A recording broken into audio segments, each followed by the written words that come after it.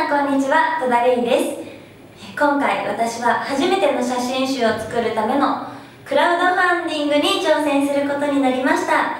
来年で30歳になってしまうのですがこのグラビアを始めてからもう11年まだ1回も写真集を出すことができていないので30歳の記念にぜひ出したいなと思っています。